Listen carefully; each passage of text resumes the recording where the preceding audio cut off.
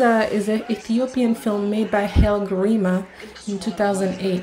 This historical drama takes a harsh look at the bloody Red Terror campaign the Derg unleashed on the Ethiopian people. Acclaimed with numerous awards and praise, the story focuses on a student who returns to his native Ethiopia only to find it immersed in violent repression and political turmoil.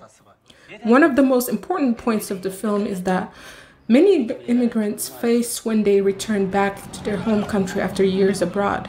They ironically feel alienated at home turf.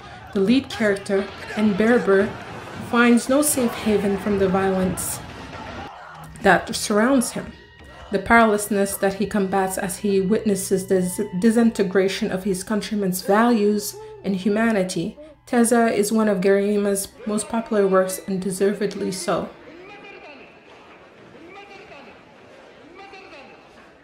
Cure all the disease, we'll kill all the bacteria. absolutely.